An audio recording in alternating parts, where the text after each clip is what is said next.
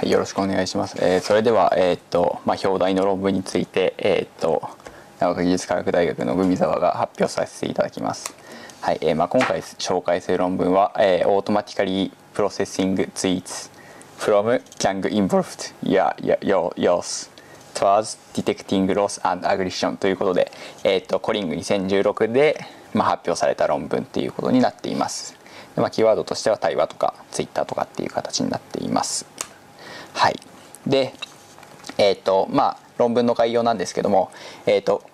ギャングまあちょっとなんかあれですけど治安が悪そうな感じですけど、まあ、ギャングによる暴力を未然に防ぐ方法について、まあ、研究を行ったっていう形の論文になっています。で、まあ、具体的に何をするかっていうと、まあ、ツイッターで、まあ、当然そのギャング同士が「お前殺してやろうか」みたいなまあ、やり取りをまあしたりしているっていうことで、まあ、それらのやり取りについてまあ抽出して分析することで、まあ、どのようなツイートがそういうなんだろう暴力坂に発展しやすいのかみたいなのを、まあ、コーパスとしてアノテーションして、えー、ポスター画を作ってで分類した結果いい精度が出たっていうことを、まあ、彼らがこの論文で報告しています。はいでまあ、まず導入です、まあ、ちょっとアメリカのことについて紹介するような形になるんですけど、まあ、アメリカでは当然銃社会なので銃によってまあ人々が死んでしまうっていうことが非常に多いです。まあ、23時間前に誰かが撃たれているっていう計算になるほど銃器の犯罪が多いです。で、まあ、その中で、まあ、あまり治安が良くないと言われてるシカゴの、まあ、そのシカゴの警察は、まあ、ソーシャルメディアの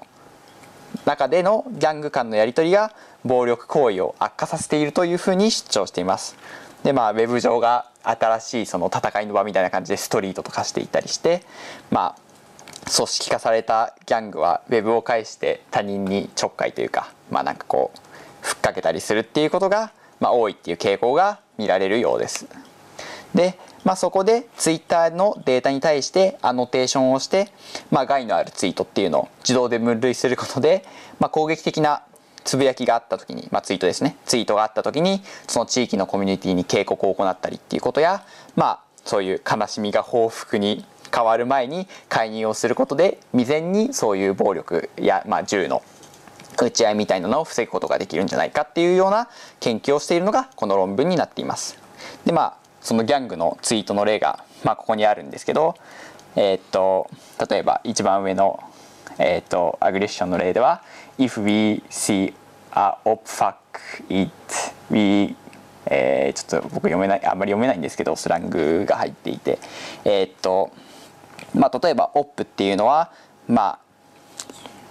あそのその人があんまり好きじゃない人のことを表していてスモークっていうのはまあ、スラングで、えーと、人を殺すっていう意味があるんですね。でまあそういうものについて、まあ、解析をすることによって、まあ、これちょっと挑発みたいな感じになってるわけですけど、まあ、そういうのを、えー、と事前に解析して、まあ、対話のやり取りを解析することでそういうのを未然に防げるのではないかっていうような研究をしています。はいでまあ、さっきも言ったんですけど、まあ、ギャングのツイートっていうのは、まあ、崩れた表現、まあ、当然ツイッターなどで崩れた表現が多いのは当然なんですけども、まあ、スラングとかが多いです、まあ、さっきの例で言っても、まあ、オップっていうのがその嫌いななんか人たちを表すっていうのは、まあ、ちょっと僕は分からなかったですし、まあ、スモークっていうのも殺すっていう意味を持つっていうのは多分分からなかったと思います。でまあそういうものに対して通常のポスター側とかで解析を行っても、まあ、正しい情報が持ってこれない。例えばスモークであれば全然殺すという意味とは全く関係のないその意味とかがあのワードネット解析した結果から、まあ、ワードネットで取っていこうと思った時に全く違う意味の単語の意味を持ってきてしまうみたいなことが起きてしまうので、えーとまあ、彼らはこの以下のアプローチを使って、まあ、それらに対して対処してより精度の高い解析を行おうっていうふうにしています。で、まあ、1つ目が POS タグのふ、えー、 POS タグと、まあ、談話の意味さっきの例でいくと、まあ、 aggression であるとかロスとか、まあ、ロスは悲しみですよねあの誰かが死んだ時にあすごい悲しいっていうふうに今ツイートするので、まあ、そういうのに対してロスっていうのを付与しているんですけど。あすいません。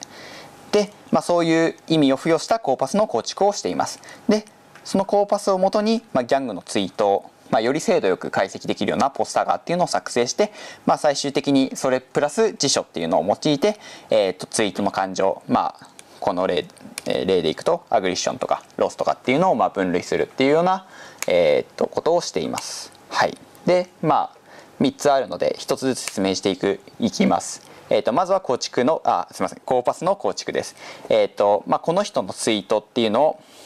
えーとまあ、メインで分析しています、まあ、ちょっとここら辺に経歴みたいなの書いてあるんですけど、まあえーと、メインで説明したいこととしては、まあ、彼女は結構、えーと、ツイートをしていて、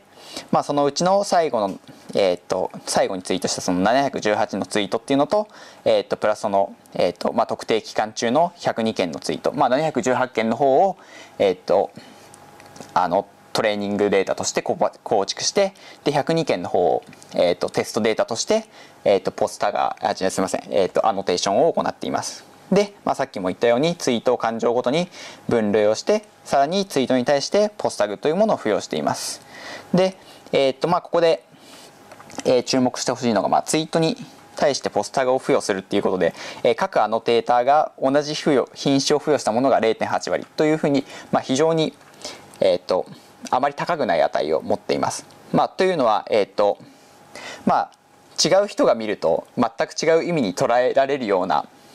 えーと、単語等が多くて例えばその、えーとまあ、文章中にはちょっと汚い単語とかもいっぱい含まれていてその汚い単語っていうのが、まあ、副詞的な使われ方をしていたりあの形容詞的な使われ方をしていたり名詞的な使われ方をしたりどの使われ方をしていても文章の意味としては成り立ってしまうみたいなものが結構多く存在するために、まあ、それぞれのアノテーターの、えーと、品詞付与した品詞が一致した割合っていうのが0.8っていうような形になっています。はい、で、まあ、ここで構築したコーパスを用いて彼らは、えーと、ポスタガーの、まあ、改善ですね。っていうのを行っています。で、えー、CMU という既存のポスタガーに対して、えー、改善を加えて、まあ、より精度高くあの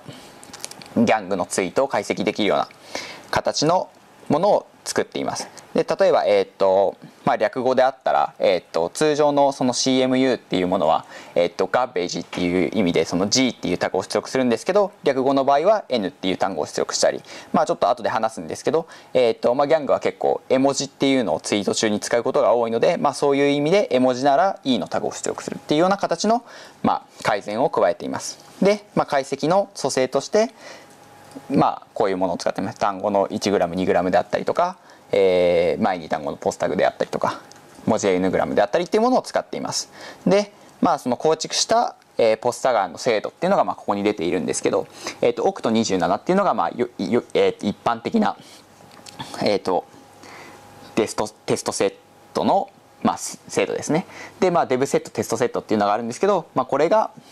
そのギャングのツイートの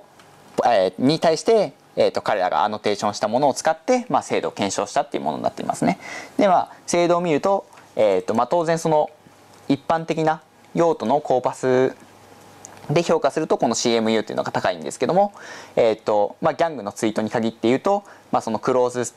ですよねクローズテストのそのデブセットでの評価では89.8%でテストセットでは81.5%とまあ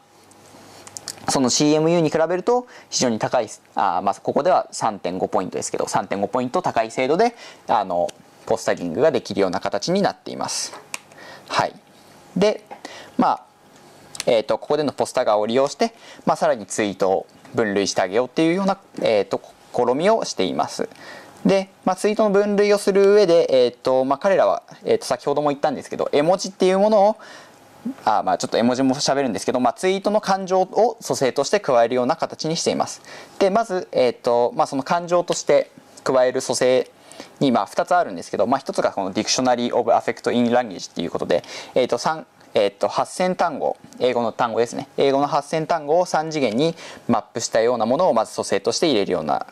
あ試みをしています。でまあこの3次元なんですけど、まあ、一つが心よさ一つが語の強さで一つが単語の視覚の化のしやすさっていうような指標になっています。でこれをまず、えーと、感情の組成として加えるようなことをしています。でさらに、えーと、ギャングが使う絵文字についても組成としています。で、えー、ギャングが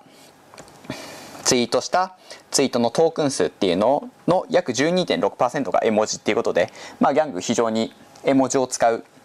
ような形になっているので、まあ、それは感情を示していると思われるということで、まあ、これらの、まあ、例一例ですねの、まあ、絵文字っていうのを、えー、ツイートの組成に加えてあげています。まあえー、と上から順番にギャングが使うよくよく使う絵文字なんですけど、まあ、こういうふうにちょっとなんか誰かが楽しそうになくてよくわかんないですけどとかあと手を合わせてあのちょっと悲しむですかねみたいなような、えーと、絵文字がよく使われるような形になっています。はいで、えーとまあ、先ほどの蘇生も合わせてポスタガーとこの感情の事象を合わせて、まあ、彼らは、まあ、SVM を用いて分類するという分類するモデルを組み立てて、まあ、実験を行っています。で、えーまあ、ここで彼らが作ったモデルはまあ3つ、まあ、メインでは2つなんですけどあります。で、えー、と1つは TCF というものです。でこれは、えーと、単純に最初からアグリッションとロストアザーで分けてあげようっていうもので、えーと、aggression なのかアザーなのかっていう SVM の二分類器とロスなのかその他なのかっていう二分類器を作ってでそれで3クラスに分類してあげるっていう手法ですね。で BCS っていうのは、えー、っと aggression かロスかっていうデータだけを使ってモデルを構築したものになっています。でその BCS っていうものを用いてまず aggressionまたはロスっていうものかそれ以外なのかそれ以外のツイートなのかっていうのを分類してあげた上で BCS で aggression かロスかっていうのを、まあ、3つに分けてあげるっていう手法をここを見たのがこの一番下の CC っていうような形になっています。はい、で結果です。えー、っ とまあまず見てほしいのは、えーとまあ、TCF の結果なんですけど、まあ、一番えっ、とそうですね、えーと、アグリッションでは、えーと、0.560、えーと、ロスでは、まあ、0.556っていう値なんですけど、まあ、CC そのまず、えー、そのツイートが、えー、と悲しみなのかちょっと攻撃的なのかっていうのを分けた後にそのツイートが攻撃的なのか悲しみを表すのかっていうのを分けたその産地の分類器の方が、まあ、F 値が高いっていうような精度を表しています。でまたまあ、ユニグラムだけを組成とした、えー、っとものに比べて、まあ、ユニグラムでは0.486なんですけど、まあ、そこから CC あの彼らのその絵文字エモーショナルな辞書を使ったものとかっていうのは、まあ、そこからさらに、えー、っと約その13.7ポイントですね。13.7ポイント。でロスにおいては5.8ポイントの精度の向上っていうのが見られて、まあ、精度を、まあ、非常に高めることができたっていうふうに彼らは言っています。はい、で、まあ、どの組成が強く効いているのかっていうのを、まあ、TCF や、まあ、BCF っていうので、まあ、評価をしているんですけど、えー、っとまあ、ユニグラムに対して、えーとまあ、バイグラムであったりとか、えーと、ポスタがあすみませんポスタグっていうのが、まあ、非常に強く効いているっていうのが、まあ、アグリッションの、まあ、実験とかで分かると思います。でまあえーと、感情の辞書っていうのも、まあ、0.069っていうのから、まあ、それを組成として加えると0.659という形で、まあ、5ポイントほど上がっているので、まあ、この感情の辞書に関しても性能向上に寄与しているっていうことが、まあ、分かります。で、まあ、最終的にそれらを全て組み合わせた時の値っていうのが、まあ、0.741だったり、えー、0.821っていう形で、まあ、非常に高い値を持っているので、まあ、作ったポスタガーと、まあ、感情辞書がその分類に対して強く効いているっていうことが、まあ、このスロイドから言えると思います。はい、以上で発表終わります。